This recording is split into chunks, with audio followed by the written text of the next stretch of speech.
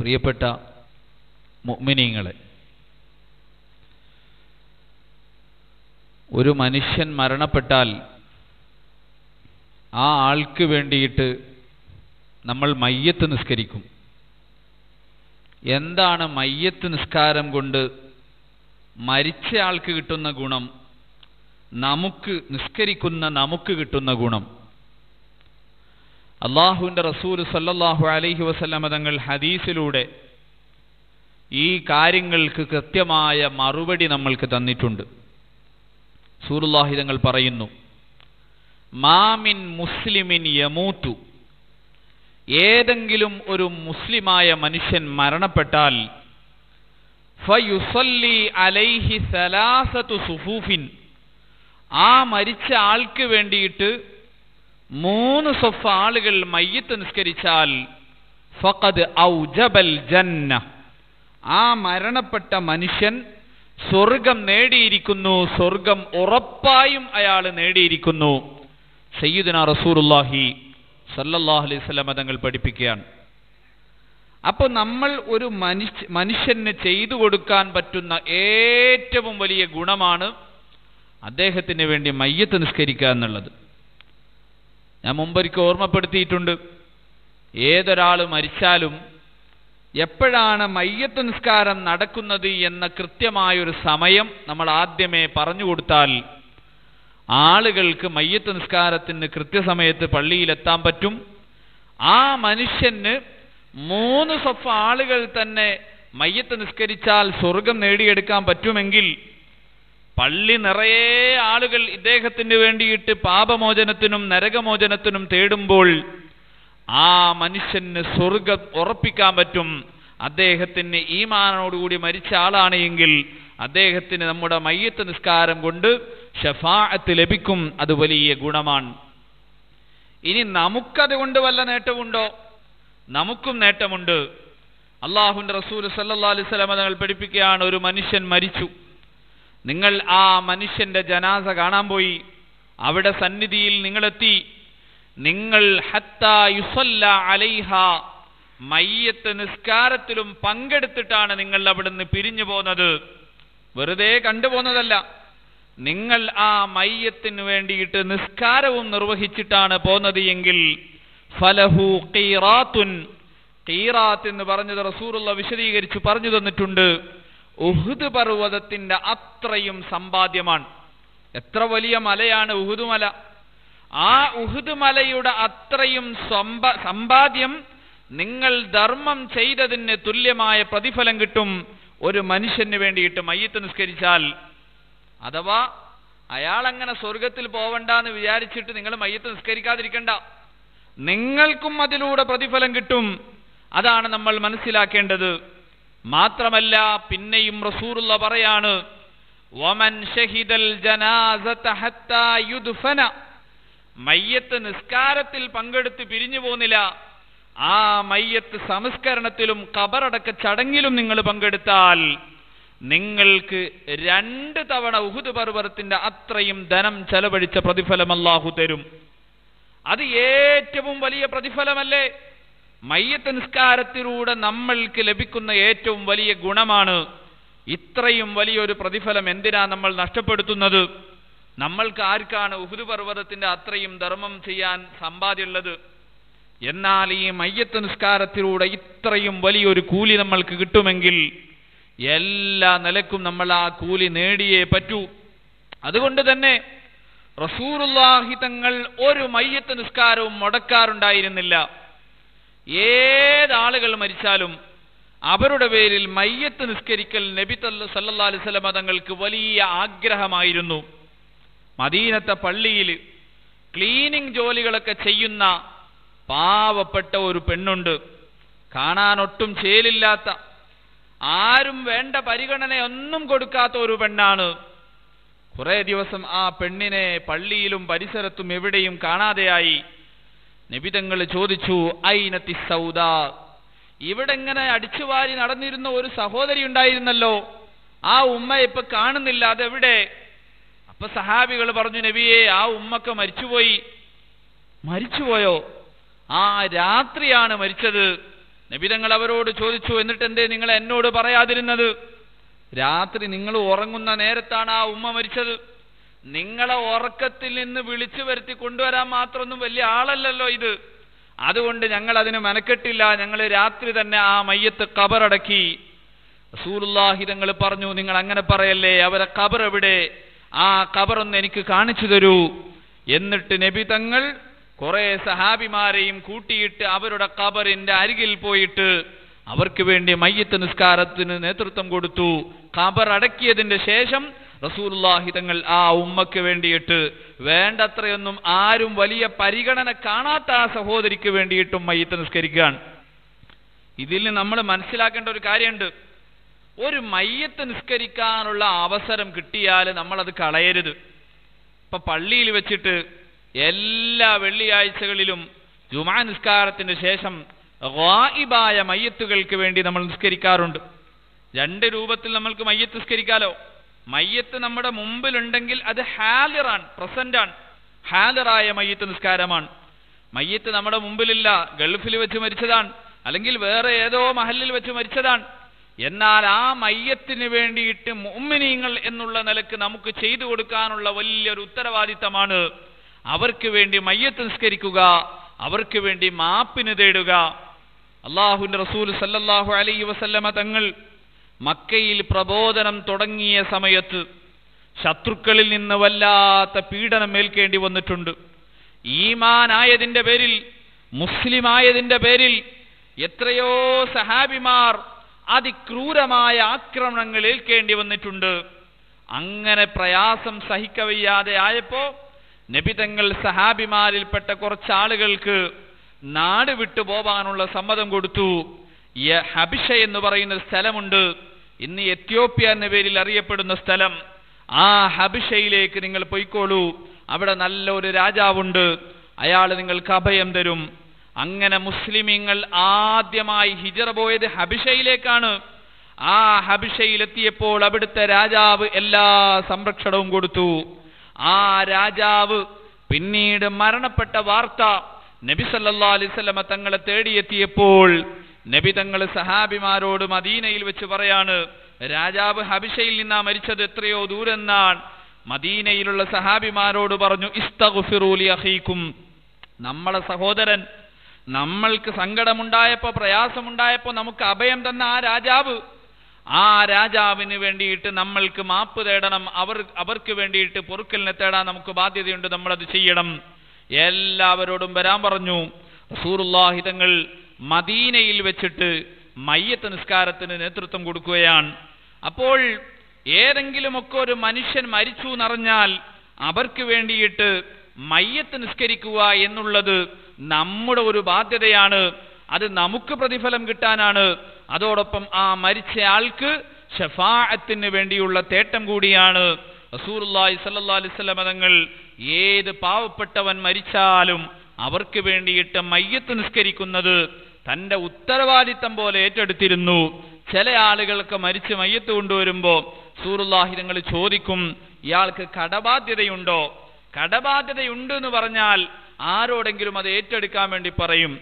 ആരെങ്കിലും അത് ഏറ്റെടുക്കും. അങ്ങനെ ഏറ്റെടുത്താൽ റസൂറുല്ലാഹി തങ്ങൾ അവർക്ക് വേണ്ടിയിട്ട് മയ്യത്ത് നിസ്കരിക്കുകയും ചെയ്യും.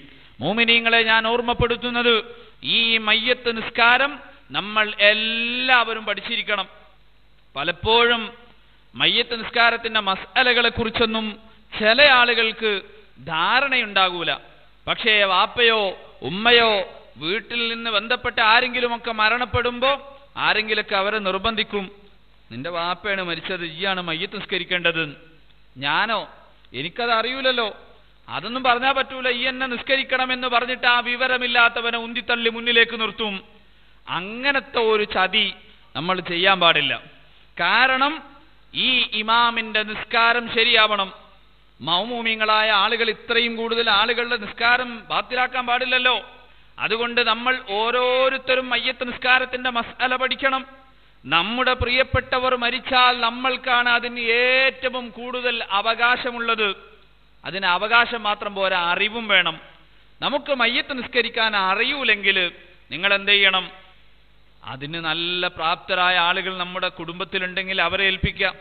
അതല്ലെങ്കിൽ പള്ളിയിൽ ഉസ്താദുമാരുണ്ടാകും അവരോട് പറയാം എന്റെ വാപ്പയാണ് മരിച്ചത്.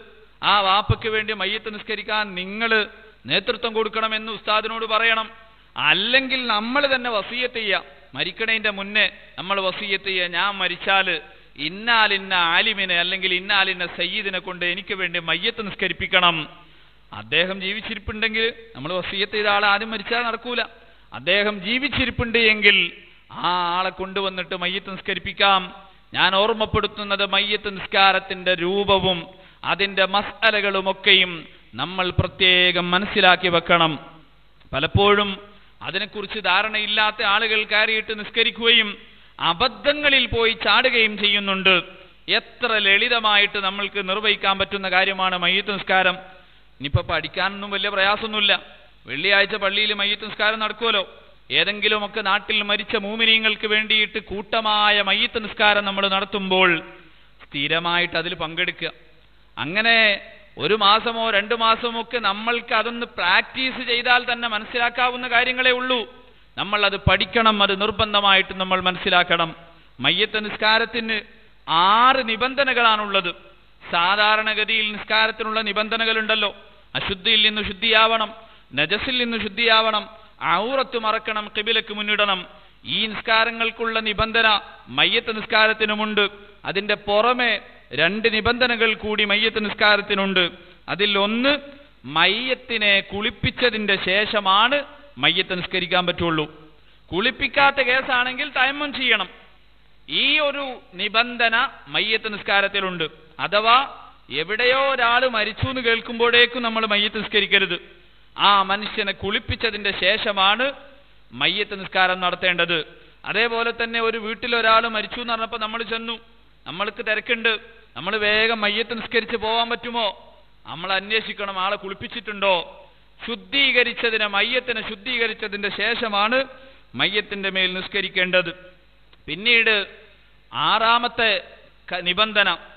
നമ്മൾ മയ്യത്തിന് വേണ്ടിയിട്ട് നിസ്കരിക്കുമ്പോൾ മയ്യത്തിനെ മുന്നിലാക്കിയിട്ട് നമ്മൾ അതിന്റെ പിറകിലാണ് നിൽക്കേണ്ടത്. മയ്യത്തിന്റെയും മുന്നിൽ നിസ്കാരക്കാരായി പോകാൻ പാടില്ല. അതോടൊപ്പം ചിന്തിക്കേണ്ട ശ്രദ്ധിക്കേണ്ട ഒരു മസല കൂടിയുണ്ട്. നമ്മൾ ആണുങ്ങളുടെ പേരിൽ പുരുഷന്മാരുടെ പേരിലാണ് മയ്യത്ത് നിസ്കരിക്കുന്നത് എങ്കിൽ പുരുഷന്റെ പുരുഷനായ മയ്യത്തിന്റെ തലയുടെ ഭാഗത്താണ് ഇമാമായി നിൽക്കുന്ന ആൾ നിൽക്കേണ്ടത്. മരിച്ചത് സ്ത്രീയാണെങ്കിൽ സ്ത്രീയുടെ മധ്യഭാഗത്തായിട്ടാണ് ഇമാമായി നിൽക്കുന്ന ആൾ നിൽക്കേണ്ടത്. ഇതൊക്കെ നമ്മൾ അതിൽ ശ്രദ്ധിക്കേണ്ട കാര്യങ്ങളാണ്. ഏതായാലും മയ്യത്ത് നിസ്കാരത്തിന് ഏഴ് ഫർളുകളുണ്ട്. ആ കാര്യം കൂടി നമ്മളൊന്ന് മനസ്സിലാക്കണം. ഒന്നാമത്തത് നീയത്താണ്. എന്താ നീയത്ത് വെക്കേണ്ടത്? മയ്യത്ത് ഇപ്പൊ നമ്മുടെ മുമ്പിലുണ്ട്. ആ ആളുടെ പേര് നമുക്കറിയാം. ഒരു മരിച്ചത് ഒരു അബ്ദുള്ള എന്ന പേരുള്ള ഒരാളാണെന്ന് മനസ്സിലാക്കുക. അപ്പോൾ നമുക്ക് എന്ത് നീയത്ത് ചെയ്യാം? അബ്ദുള്ള എന്ന സഹോദരന് വേണ്ടിയുള്ള ഫർലായ മയ്യത്ത് നിസ്കാരം ഞാൻ നിസ്കരിക്കുന്നു. എന്ന് നീയത്ത് ചെയ്യാം. ഇനി ആളെ പേരൊന്നും അറിയില്ല. മയ്യത്ത് മുമ്പിലുണ്ട്. എന്നാൽ ഈ മയ്യത്തിന് വേണ്ടിയുള്ള ഫർലായ നിസ്കാരം ഞാൻ നിസ്കരിക്കുന്നു. അങ്ങനെ നീയത്ത് ചെയ്യാം. ഇനിയിപ്പോൾ അങ്ങനെയും പറയേണ്ട ആവശ്യമില്ല. ഇപ്പൊ വെള്ളിയാഴ്ച പള്ളികളിലൊക്കെ നിസ്കാരം നടക്കുമ്പോൾ പള്ളിയിൽ നിന്ന് പത്തോ പതിനഞ്ചോ ആളുകളുടെ പേര് പറയും. ഈ ആളുകളുടെ പേരെല്ലാം കൂടി നമുക്ക് മനഃപ്പാടമാക്കാൻ കഴിയില്ലല്ലോ. അപ്പൊ നമ്മൾ എന്ത് ചെയ്താൽ മതി? ഇമാം ആരുടെ എല്ലാം പേരിൽ മയ്യത്ത് നിസ്കരിക്കുന്നു അവരുടെ മേലിലെല്ലാമുള്ള ഫർലായ നിസ്കാരം ഞാൻ നിസ്കരിക്കുന്നു. ആർക്കെല്ലാം ഇമാമ് നിസ്കരിക്കുന്നു അവർക്കെല്ലാം വേണ്ടിയുള്ള ഫർലായ മയ്യത്ത് നിസ്കാരം ഞാൻ നിസ്കരിക്കുന്നു. അങ്ങനെയാണ് നെയ്യത്ത് ചെയ്യണം ഈ പറഞ്ഞ ഏതെങ്കിലും ഒരു രൂപത്തിൽ നെയ്യത്ത് ചെയ്യുക എന്നാണ് ഒന്നാമത്തെ ഫർൾ. രണ്ടാമത് നിൽക്കാൻ കഴിവുള്ള ആളുകൾ നിന്നുകൊണ്ട് തന്നെ വേണം മയ്യത്ത് നിസ്കാരം നിർവഹിക്കാൻ. മൂന്നാമത്തത് നാല് തെക്ബീരുകളാണ് മയ്യത്ത് നിസ്കാരത്തിലുള്ളത് ആ നാല് തെക്ബീരുകൾ തന്നെ ചെല്ലേണ്ടതുള്ളൂ. ചില ആളുകൾ മറന്നുകൊണ്ട് അഞ്ചാമത്തെ തക്ബീറൊക്കെ ചെല്ലിപ്പോവാറുണ്ട്. അല്ലെങ്കിൽ അറിവില്ലായ്മ കൊണ്ട് സംഭവിക്കാറുണ്ട്. അങ്ങനെ മറന്നുകൊണ്ട് നമ്മളിങ്ങനെ തെക്ബീർ അഞ്ചെണ്ണമോ ആറെണ്ണമോ ഒക്കെ ആയിപ്പോയി എന്ന് കരുതി മയ്യത്ത് നിസ്കാരം ബാത്തിലാവൂല. ചില ആളുകളൊക്കെ ഈ പറഞ്ഞ വെപ്രാളത്തിൽ പെട്ടെന്ന് അങ്ങോട്ട് നിസ്കരിക്കുമ്പോൾ സലാം വീട്ടുന്നതിന്റെ മുന്നൊരു തെക്ബീറും കൂടി ചെല്ലിയിട്ടൊക്കെ സലാം വീട്ടും. പിന്നെ അവർ ചോദിക്കും അല്ല നിസ്കാരത്തിന് വല്ല കുഴപ്പമുണ്ടോ? നിസ്കാരം ബാത്തിലാവൂല നിസ്കാരത്തിന് കുഴപ്പമില്ല. പക്ഷേ മനഃപൂർവം നമ്മൾ അങ്ങനെ ചെയ്യരുത്. ഈ തക്ബീറുകൾ വർദ്ധിക്കുക എന്നുള്ളത് കറാഹത്തായ കാര്യമാണ്. അതുകൊണ്ട് തന്നെ മയ്യത്ത് നിസ്കാരത്തിൽ നാല് തക്ബീറുകളാണുള്ളത്. ആ കാര്യം നമ്മൾ ശ്രദ്ധിക്കണം. മയ്യത്ത് നിസ്കാരത്തിന്റെ നാലാമത്തെ ഫറൽ ഒന്നാമത്തെ തക്ബീർ ചൊല്ലിയതിന്റെ ശേഷം ഫാത്തിഹ ഓതണം സൂറത്തുൽ ഫാത്തിഹ. ഫാത്തിഹ ഓതുമ്പോൾ അതിന് പൊതുവേ പറഞ്ഞ കുറെ സുന്നത്തുകളുണ്ട്. അഴൂത് ഓതിയിട്ടാണ് ഫാത്തിയ തുടങ്ങേണ്ടത്. ഏത് നിസ്കാരത്തിലും ഫാത്തിയയ്ക്ക് ശേഷം ആമീൻ പറയൽ സുന്നത്തുണ്ട്. അതൊക്കെ മയ്യത്ത് നിസ്കാരത്തിലും നമ്മൾ ശ്രദ്ധിക്കണം. പക്ഷേ മയ്യത്ത് നിസ്കാരത്തിൽ വജ്ജഹത്ത് ഓതേണ്ടതില്ല. ഫാത്തിഹയ്ക്ക് ശേഷം സൂറത്തും ഓതേണ്ടതില്ല. അത് രണ്ടും സുന്നത്തില്ല. മയ്യത്ത് നിസ്കാരത്തിൽ വജ്ജഹത്തും സുന്നത്തില്ല സൂറത്ത് ഓതലും സുന്നത്തില്ല. ഫാത്തിഹ മാത്രമേ മയ്യത്ത് നിസ്കാരത്തിൽ ഓതേണ്ടതുള്ളൂ. അഞ്ചാമത്തെ ഫർൾ രണ്ടാമത്തെ തക്ബീറിന്റെ ശേഷം നബി സല്ലല്ലാഹു അലൈഹി തങ്ങളുടെ പേരിൽ സ്വലാത്ത് ചെല്ലണം. പിന്നീട് ആറാമത്തെ ഫറൽ മൂന്നാമത്തെ തക്ബീറിന് ശേഷം മയ്യത്തിന് വേണ്ടി ദുആ ചെയ്യണം. അതിന് ഏത് ദുആ ആണ് നടത്തേണ്ടത് എന്ന് ഹദീസിൽ പ്രത്യേകമായൊരു ദുആ വന്നിട്ടുണ്ടല്ലോ. അള്ളാഹു വർഹംഹു അൻഹു വആഫിഹി എന്ന് തുടങ്ങുന്ന ആ ദുആ ആ ദുആ എല്ലാവരും പഠിക്കണം. അത് മയ്യത്ത് നിസ്കാരത്തിൽ നമുക്ക് ദുആ ചെയ്യാം. ഖബറിന്റെ അടുക്കൽ പോയാലും ദുആ ചെയ്യാം. ഇനി വീട്ടിൽ വെച്ചിട്ട് നമ്മളെ മരിച്ചുപോയ ആളുകൾക്ക് വേണ്ടി ദ്വാ ചെയ്യുമ്പോഴും ദ്വാ ചെയ്യാം. അത് എല്ലായിടത്തും ദ്വാ ചെയ്യാൻ പറ്റിയ ഒരു എല്ലാ കാര്യങ്ങളും ഉൾക്കൊള്ളുന്ന വളരെ പ്രധാനപ്പെട്ട മയ്യത്തിന് സ്വർഗം വാങ്ങിക്കൊടുക്കാൻ മാത്രം മതിയായ ഒരു പ്രാർത്ഥനയാണ്. റസൂറുല്ലാഹി തങ്ങളിൽ ഒരു മനുഷ്യൻ മരിച്ചപ്പോൾ അദ്ദേഹത്തിന് വേണ്ടി മയ്യത്ത് നിസ്കാരത്തിൽ ഈ ദുആ നടത്തുന്നത് കണ്ടപ്പോ അത് കേട്ട ഒരു സഹാബി പറയാണ് എനിക്കൊരാഗ്രഹം തോന്നി. ആ മയ്യത്ത് ഞാനായിരുന്നെങ്കിൽ എത്ര നന്നായിരുന്നുവെന്ന്. സൂറുല്ലാഹി തങ്ങൾ ഇങ്ങനെ ഈ മയ്യത്തിന് വേണ്ടിയിട്ട് ദുആ ചെയ്യുന്നത് കേൾക്കാൻ അത്രക്കും വലിയ പ്രതിഫലമുള്ള വലിയ ആശയമുള്ള ദുആ ആണ്. അതാണ് മയ്യത്തിന് വേണ്ടിയുള്ള ദുആ ആറാമത്തെ ഫറദ്. ഏഴാമത്തെ ഫറദ് മയ്യത്ത് നിസ്കാരത്തിലെ നാലാമത്തെ തക്ബീർ ചൊല്ലിയതിന്റെ ശേഷം സലാം വീട്ടുകയാണ്. സലാം വീട്ടുന്നതിന് മുമ്പ് അല്ലാഹുമ്മ ലാ അജ്റഹു വലാ വഗ്ഫിർ ലനാ വലഹു. അല്ലാഹുവേ ഈ മനുഷ്യന് നീ ഇദ്ദേഹം മരിച്ചതിന്റെ പേരിൽ ഞങ്ങൾ ക്ഷമിക്കുന്നു ആ ക്ഷമയുടെ കൂലി ഞങ്ങൾക്ക് തരണം. അദ്ദേഹം മരിച്ചതിന്റെ പേരിൽ ഞങ്ങൾക്കൊരു ബുദ്ധിമുട്ടും ഭാവിയിൽ ഉണ്ടാക്കാൻ പാടില്ല. ഞങ്ങൾക്കും അദ്ദേഹത്തിനും നീ മാപ്പ് നൽകുകയും വേണം. ഈ ഒരു ദ്വാവും നടത്തി. ഹസന വഫിൽ ആഖിറതി അദാബന്നാർ. എന്നുകൂടി ചൊല്ലിയിട്ടാണ് സലാം വീട്ടേണ്ടത്. സലാം വീട്ടുമ്പോൾ പൂർണമായ രൂപത്തിൽ തന്നെ സലാം വീട്ടുക. അസ്സലാമു അലൈക്കും എന്ന് പറഞ്ഞാൽ തന്നെ നിർബന്ധമായ സലാം വീട്ടലായി. പക്ഷേ അസ്സലാമു അലൈക്കും വറഹ്മത്തുള്ളാഹി വബറകാത്തു അതാണല്ലോ പൂർണമായ സലാം. അങ്ങനെ തന്നെ സലാം വീട്ടാൻ വേണ്ടിയിട്ട് നമ്മൾ ശ്രദ്ധിക്കണം. മയ്യത്ത് നിസ്കാരത്തിൽ സുജൂദില്ല അപ്പൊ പിന്നെ മയ്യത്ത് നിസ്കാരത്തിൽ എങ്ങോട്ടാ നമ്മൾ നോക്കേണ്ടത്? എല്ലാ നിസ്കാരങ്ങളിലും സുജൂദിന്റെ സ്ഥാനത്തേക്കാണല്ലോ നോക്കേണ്ടത്. മയ്യത്ത് നിസ്കാരത്തിൽ സുജൂദില്ലെങ്കിലും സുജൂദ് ഉണ്ടെങ്കിൽ നോക്കേണ്ട ഒരു സ്ഥലമുണ്ടല്ലോ. അവിടേക്കാണ് മയ്യത്ത് നിസ്കാരത്തിലേക്കും നിസ്കാരത്തിലും നോക്കേണ്ടത് മയ്യത്തിലേക്കല്ല നോക്കേണ്ടത് സുജൂദിന്റെ സ്ഥാനത്തേക്ക് തന്നെയാണ് മയ്യത്ത് നിസ്കാരത്തിലും നമ്മൾ നോക്കേ നോക്കേണ്ടത്. അതേപോലെ മയ്യത്ത് നിസ്കാരത്തിൽ എപ്പോഴും എല്ലാം നമ്മുടെ ശരീരം കേൾക്കുന്ന ശബ്ദത്തിലേ പറയേണ്ടതുള്ളൂ ഉറക്കെ പറയേണ്ടതില്ല. ഒരാൾ ഇമാമാണെങ്കിൽ അദ്ദേഹത്തിന് തെക്ബീറുകളും സലാമും ഉറക്കെ പറയാം. അല്ലാതെ മൗമൂമിങ്ങളായ ആളുകൾ മുഴുവനും പെരുന്നാൾ നിസ്കാരം പോലെ എല്ലാ തെക്ബീറുകളും ഒന്നിച്ച് ഉറക്കെ അള്ളാഹു അക്ബർ എന്ന് പറയേണ്ടതില്ല. ഇമാമ് ഉറക്കെ പറയണം. മാമൂമിങ്ങൾ അവരുടെ ശരീരത്തിന് കേൾക്കുന്ന വിധത്തിൽ പറഞ്ഞാൽ മതി. ഇതൊക്കെ നമ്മൾ ശ്രദ്ധിക്കേണ്ടതാണ്. ഏതായാലും മയ്യത്ത് നിസ്കാരത്തിന്റെ കാര്യത്തിൽ നമ്മളെല്ലാവരും നന്നായി ശ്രദ്ധിക്കുകയും വളരെ നല്ല രൂപത്തിൽ നമ്മുടെ ഉപ്പയ്ക്ക് വേണ്ടി നമ്മൾ അവസാനം കൊടുക്കുന്ന ഒരു പ്രാർത്ഥനയാണ് ഒരു ഷഫായത്താണ് അത് നിർബന്ധമായ നിർബന്ധമായൊരു ബാധ്യതയാണ്. അത് മനസ്സിലാക്കി തെറ്റില്ലാത്ത രൂപത്തിൽ തന്നെ അത് ചെയ്തു കൊടുക്കാൻ വേണ്ടി നമ്മളെല്ലാവരും പഠിക്കണം. അള്ളാഹു നമുക്കും നമ്മിൽ നിന്ന് മരിച്ചുപോയ മൂമിനിങ്ങൾക്ക് മുഴുവനും മകഫിറത്ത് നൽകി അനുഗ്രഹിക്കുമാറാവട്ടെ. എല്ലാ അതാബിൽ നിന്നും അള്ളാഹു നമ്മെ എല്ലാവരെയും കാക്കുമാറാവട്ടെ. برحمتك يا أرحم الراحمين.